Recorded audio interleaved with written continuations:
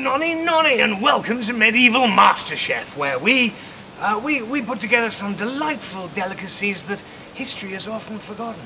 Um, today, and wouldn't you know it, we're going to be doing sheep's penis. Yes, you heard that right. Now, for this, uh, this particular delicacy, you'll need the appendage of a ram. At least one for each member of the party you're expecting. Uh, unless, of course, you're, you're planning on shearing. now, once you've uh, got the appendage, you must wash it thoroughly. And I do mean thoroughly, as a, as a quick sheep's dip will not suffice.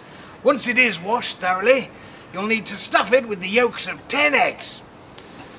10 eggs, and then a pinch of saffron, uh, some salt and pepper to taste, a thimbleful of milk, and one generous dollop of fat. Now, once that's all together, blanch your penis, and uh, then roast until well done.